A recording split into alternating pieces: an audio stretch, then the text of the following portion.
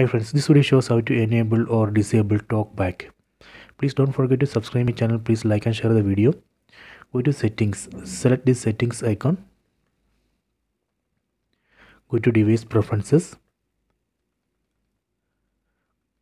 Then select accessibility. So here we can see talkback. Right now it's off. Let me enable it. Select talkback.